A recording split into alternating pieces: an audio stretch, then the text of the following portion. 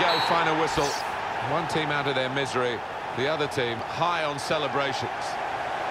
Well, the day was a big one for them, but it's not quite got the ending, the happy ending that they were all dreaming about before this final of the Emirates FA Cup. It's tough to take. There's some tears out there. Yeah, you've only got to look at those players. They're absolutely distraught. They've got the families in the stand. They've been looking forward to this day for so long. Ends in heartache.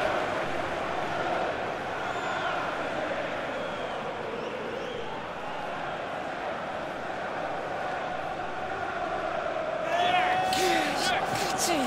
Get in there!